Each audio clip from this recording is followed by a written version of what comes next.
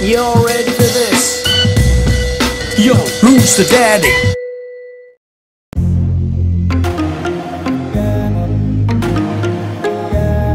Easy guys, Dom here from Cringey Dad Gaming. So just a quick dauntless video about mods. I've had a few people asking me how you can get mods for your weapons. A lot of people are asking me on social media how to put a mod in this second slot because it's empty for a lot of people.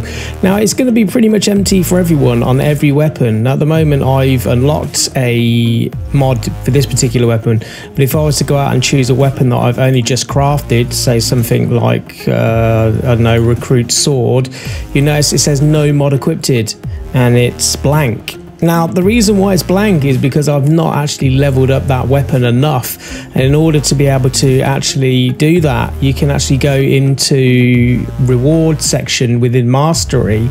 If you go into the reward section and then choose a particular weapon you're looking at, it will actually tell you what level you got to get up to before you will start unlocking those mods.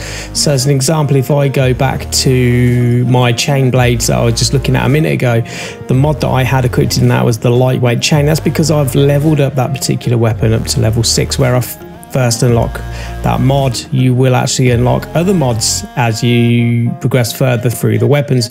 That's the same for all weapons. At level 6, you will unlock your first mod. So, for any of those questions out there about actually leveling up your weapons and in terms of adding mods, that's how you do it. And if it's helped you guys, don't forget to like, comment, and subscribe. And I'll catch you guys on another video. Thanks for watching. You're ready this? Yo, who's the daddy?